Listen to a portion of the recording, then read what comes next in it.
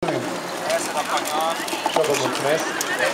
Uh, După câte ați auzit, sport contra drogurilor de data asta.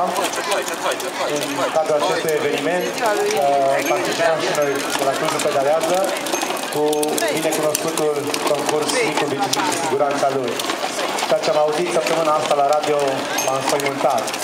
Anul trecut, până în aprilie, au fost consiliați 13 copii sub 14 ani pentru consum de droguri. Anul acesta au fost 49. Atenție, dragi părinți, unde îi lăsați pe copii, la ce să se uite.